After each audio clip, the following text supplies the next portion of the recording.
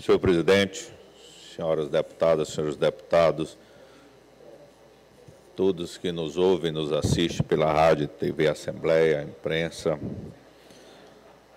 Hoje, quinta-feira, primeiro dia útil após o Carnaval, eu venho primeiro parabenizar a organização das festas carnavalescas no, nesse último final de semana em várias cidades do estado do Maranhão. Algum, alguma dessas cidades eu participei indo a, junto com a população aos circuitos e as festas de blocos, festas carnavalescas que fizeram a cidade. Eu queria aqui parabenizar o prefeito lá de Vagem Grande, da minha terra, pelo imenso carnaval que foi feito em Vagem Grande, inclusive em Vagem Grande o horário do carnaval era um horário diferenciado, começava às 5 horas da, da tarde e ia até por volta de meia-noite, uma hora da manhã, fazendo com que a população tivesse um espaço mais cedo para levar até suas famílias, suas é, crianças e todas participassem do carnaval em Vargem Grande. Além disso, existia uma série de blocos, de sons distribuídos por toda a cidade que faziam é, com que o folião pudesse sair da sua casa e participasse em várias localidades. Eu quero parabenizar aqui o prefeito, a todo o seu secretário, a organização do carnaval na cidade. Em São Benito do Rio Preto, eu estive lá com o prefeito Maurício Fernandes e todo o seu grupo político. Nós estivemos é, compartilhando com a população, através da, dos blocos e também do local onde ficavam as bandas, para que se fizesse um dos maiores carnavais da região.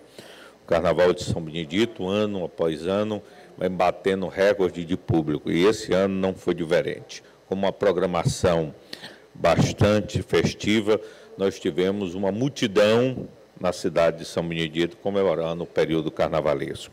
Assim como foi em Coroatar também, com um trio elétrico imenso, puxava os foliões pelas principais ruas da cidade e depois ia até o palco onde as bandas é, faziam suas apresentações.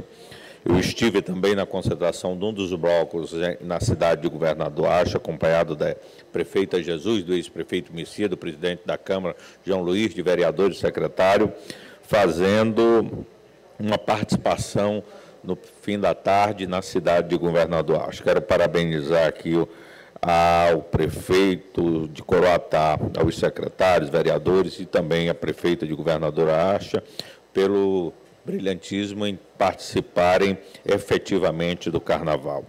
Em Piritoró não foi diferente. Eu acompanhei o padre Josias na abertura do último dia do carnaval em Piritoró e uma multidão esperava pela apresentação da, dos cantores na última noite. Eu estive acompanhado de secretários, de vereadores e vi uma multidão é, festejando o período carnavalesco.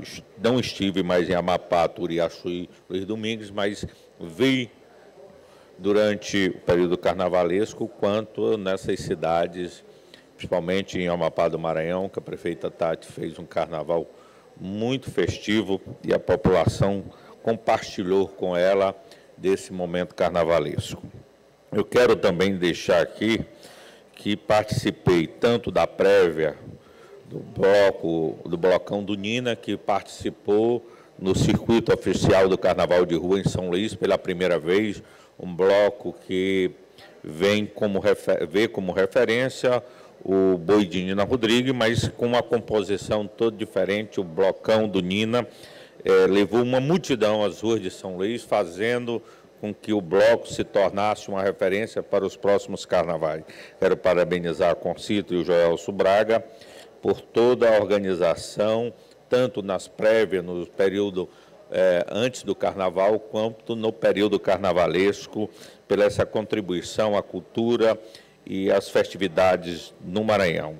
A gente sente da importância desses grupos folclóricos quando participa, quando a gente está lá dentro, junto com esses blocos, a gente vê o quanto a população gosta de participar, junto com as suas atrações musicais, das festividades. Então, eu queria parabenizar as cidades maranhenses, todas, não só as citadas aqui, as, também as que eu não citei, mas deixar meus parabéns pela organização, mesmo em anos difíceis, em anos em que a economia tem tido dificuldade para se alavancar, nós tivemos ainda um carnaval mais modesto, mas muito festivo e cada vez mais é, elogiado pela população, que sabe das dificuldades, mas mesmo assim tirou esses últimos dias para festejar, esquecendo um pouco da, da sua vida é, política e da vida financeira do nosso país. Então, era isso que eu tinha nessa manhã.